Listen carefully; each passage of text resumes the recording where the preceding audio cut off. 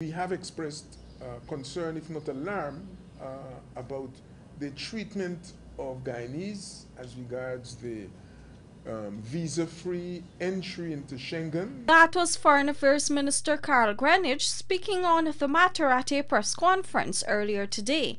According to the minister, this issue was a strong point made on Monday during the sixth round of European Union Guyana political dialogue under the framework of Article 8 of the ACP-EU Cotonou Agreement. Back in 2015, Trinidad and Tobago, Dominica, Grenada, St. Lucia, and St. Vincent and the Grenadines joined Antigua and Barbuda, the Bahamas, Barbados, and St. Kitts and Nevis as countries granted visa-free travel to Schengen member states and associated countries.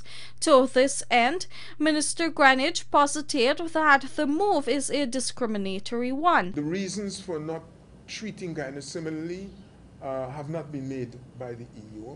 As a matter of fact, as far as we can see from the criteria they use, Guyana falls squarely amongst those countries that don't pose, as they would say, a risk and therefore it should be treated differently. Moreover, the Foreign Affairs Minister further expressed his dissatisfaction over the approach adopted in addressing the issue. We heard from uh, Ms. Mogherini, who is the High representative on foreign affairs and the vice president of the European Council that they are not now going to look at Guyana until a new council comes into comes into office. In other words, kicking it down, kicking it down the road or kicking it into the tall grass, depending on how you look at it, which makes us extremely unhappy.